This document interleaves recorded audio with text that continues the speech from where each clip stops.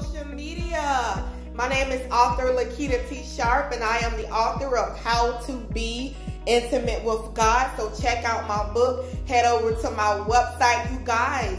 Hi.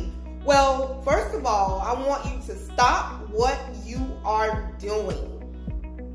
And you know, when your family come and ask you for a hug and you're focused, you give them that hug. If your child come to you and they want a hug from you, stop what you're doing and hug them. Life is short and loving is important. If your if your wife want a hug and you're busy, give her a hug.